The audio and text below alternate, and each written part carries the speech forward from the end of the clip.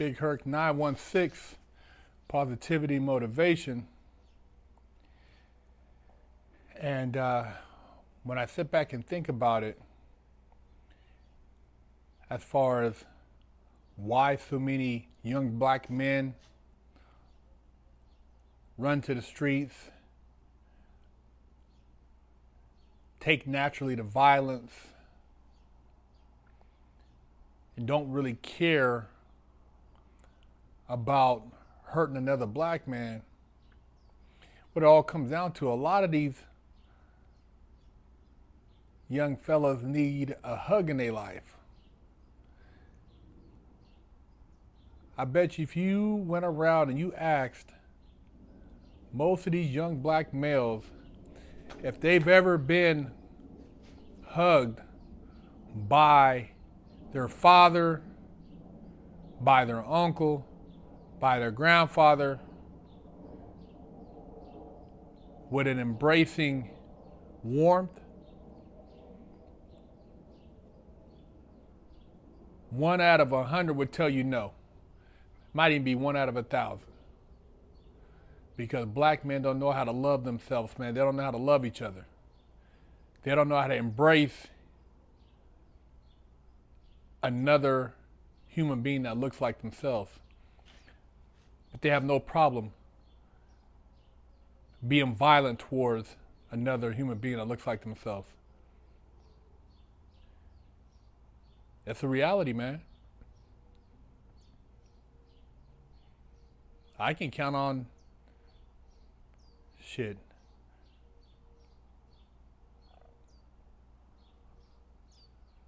I could probably count on my hand how many times I've been hugged by a male family member with like, you know, that that embrace that says, you know, it's gonna be all right. You know, I love you, grandson, or I love you, nephew, or I love you, cuz. I can't remember. Be honest, I've never been hugged by my dad. But I used to be willing to embrace violent confrontation with another brother without hesitating. That's anger, man. That's anger inside. We have a lot of anger and hatred. And we taught to hold it in. Because if you show any sign of weakness, if you cry, you, you soft, you're a weenie. So you just hold it in. And then you hold it in, and eventually you lash out in violent burst. Maybe you get into it with the with the homie or with somebody that you've been building up anger with. Maybe you go out and entertain a thought about robbing somebody just because you got all that pent up anger and frustration. See, our souls are clouded, man, clouded with a lot of negative feelings emotions, things that we've been taught that we haven't been purified from. Most of these young men ain't never had a male figure even sit down and have a talk with them. That's why they doing drugs. You know, why they alcoholics. Why they can entertain every day just being high. Like, that's cool. Yeah, I'm high. I get high, man. That's what we do. So what? Uh, because they think that's what they use to mask their true emotions. They hide, man. You hide inside. And you don't know how to express yourself. So getting high is the way to express yourself. And you think it's, you know, that's cool. And you're high, it don't when you're high, you can do anything. You can go put in work, you can pop that pistol, you can, you know, whoop on somebody, you could talk crazy, because the highness gives you that false sense of security. And it makes it okay in your mind. But it's not okay, man. We got to get back to some spiritual righteousness, man. We got to find ourselves. We got to figure out some solutions for our young people. We act like it's a a proud job title when our baby moms is stripping. You know, she out here doing fans only. And ain't nothing proud about that. Would you want your daughter to be doing that, man? I know that you do certain things to survive, but there's so much more you could be doing. That that daughter of somebody who's stripping now to maybe support her child because her baby daddy's locked up. She could have been an engineer, man. She could have been a doctor. She could have been a lawyer. Yet we are embracing a narrative that is taking our whole culture backwards. And that's because we don't we don't know our spirituality and we don't love ourselves. I learned to love myself, man. I had to figure it out behind the walls, but I learned to love myself. And I learned to find truth within me. And these weren't things I were I was taught by my mom or by my my grandmother my grandfather. I had to find these things myself. And yeah, it was outside my family. You know, OG laced me up. But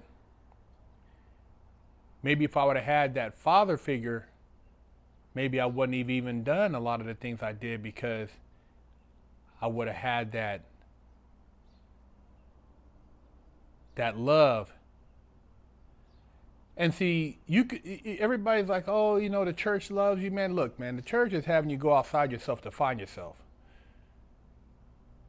If you have to go outside yourself to find the truth, you will never find the truth because you will constantly be dependent on somebody to tell you what your truth is. If you want to find your truth and be sustainable, you have to be the truth. Because you already are the truth. But they tricked you into thinking you're not the truth, therefore you go to them for the answers, which therefore you give you make them think they're the truth when all they're doing is telling you what is already inside of you. But yet they're utilizing their ability to tell you that you need them, which empowers them because on all actuality, you don't need them. They're irrelevant. You're the truth. Who, who, who's giving these people authority over you to tell you what's best for you? You got the same brain. You got the same neurology, neuro, neuro capabilities of understanding, meditating, tapping into your pineal gland to to ignite your chakras. You have the same potential to do that on your own once you are enlightened. You don't need to go to somebody else's temple. Your body is your temple. Once you learn that, once you learn to love yourself and how to find self, how to center self, you will be beyond powerful. And your ability to make choices and decisions will change dramatically. I'm trying to lace you up on some real stuff, man. I done to come to this, and I'm talking off the top of my head because you know I, am letting the spirit talk to me, man. I'm I'm just spitting. I'm just spitting right now from the spirit because I never had no male hug me and tell me I love you. I'm not talking about no weirdo shit. I'm talking about in a true embrace. Therefore, I had to learn who I was, what my purpose was and how to love myself. But I'm trying to tell you, if you're a black male and you're watching this, if you're a male and you're watching this, and you have a male uh, around you as far as a young man that looks up to you or a child or a younger relative man give him the strength, man. Embrace him and let him know it's all right to cry. That if you don't know something, if you're trying to figure something out, it's all right to ask. It's all right to uh, be curious. It's all right to uh, uh, express yourself.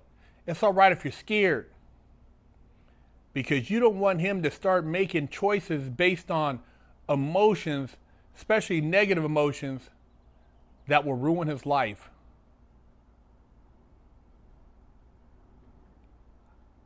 You know, a lot of this stuff comes to me, when I'm driving. I, I just had a five hour drive the other day from uh, San Diego to Arizona, man. And that's where I get my best thoughts, man. So I just want to get get this out on this uh, this vlog, man. But you know, I was listening to something, man. I thought about it, man. How many times have I been hugged by somebody in my family, as far as a male, that said, "Man, it's gonna be all right. It's all right to get it out, man." You know, I've been there. I didn't know. You know, I've I know life is rough. You know, it's it's it could be confusing, could be scary. It's times I've been scared to death, man. As far as how to how am I gonna make it? What what what what is my purpose? But I don't say nothing. I hold it in. In the pen, you know how many people want to cry in the pen, man? There's a lot of people that want to cry and they hold it in.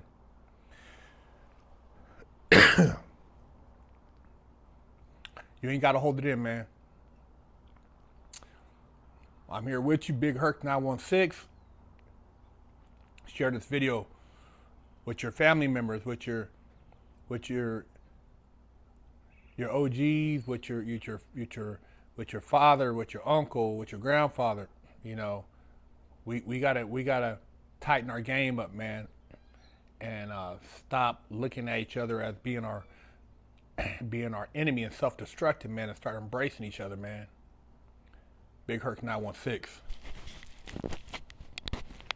Don't forget to stop by the Big Herc 916 store and pick up a sticker for your car, or a patch, or a sticker for your laptop, or maybe a beanie, or read one of the many books that Big Herc 916 has authored.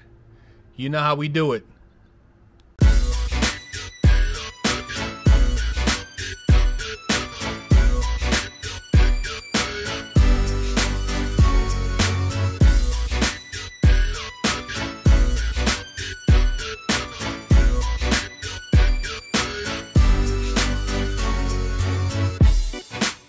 Lockdown's over. Get your yard time in. Exclusively at freshoutseries.com.